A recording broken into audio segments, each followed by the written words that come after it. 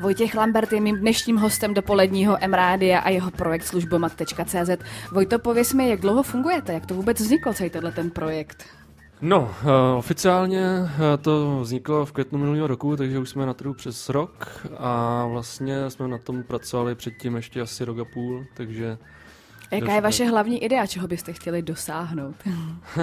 to je dobrá otázka. No, tak chtěli bychom samozřejmě se nějak jakoby na tom trhu čím dál tím víc rozvíjet, klasika, že jo.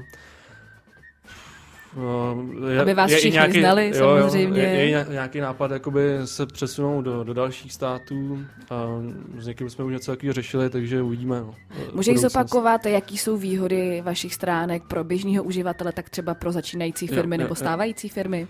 Tak, co se týče firm, tak vlastně pro ně je tam vlastně všechno úplně zdarma. My neděláme takový ty rozdíly typu, že třeba když jste na konkurenčních portálech, tak tam máte něco zdarma, něco placeného. Mm-hmm. Takže ten profil si každý den podnikatel nebo ta firma může připravit, jak chce.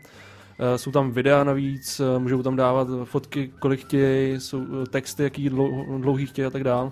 A navíc tam máme rezervační systém, spolupracujeme s firmou, jestli můžu říct. Určitě, určitě. Rezervio což je takový brněnský startup, eh, poměrně zajímavý, tak vlastně, když si firma u nás zaregistruje, tak si tam může rovnou udělat rezervační systém a třeba pro masáže nebo pro takovýhle menší podnikatele je to super, že si u nich můžou rovnou rezervovat termíny.